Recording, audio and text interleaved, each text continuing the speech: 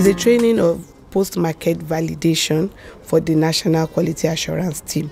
These are the team of professionals who sample kits that have been bought into the country and test it type of test they do at that level is called validation. And what that validation means is that this kit have been bought and brought into the country. Will it work within the country? So they do that testing with the panels of serum that is from the country. And when it is fit, uh, it is now distributed across the testing uh, services, delivery services in the country.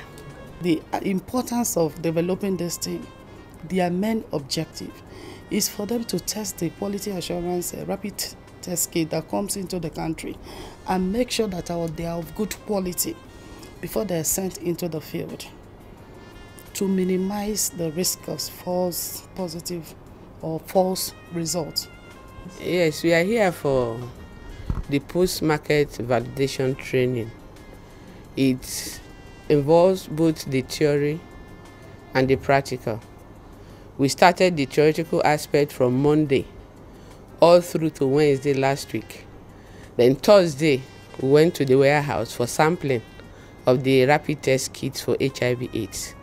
Then from Saturday to yesterday, we were at uh, Asokoro General Hospital for the evaluation of the test kits.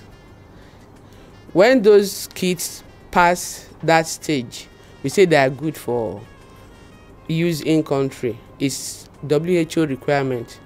Then when those same kits are procured or donated we subject them to what we call the post-market validation before they are distributed to testing sites and we have discovered that sometimes they will pass the evaluation stage then they fail the post-market validation. It, that means that that test kit is not fit to be used. So we keep such kits aside.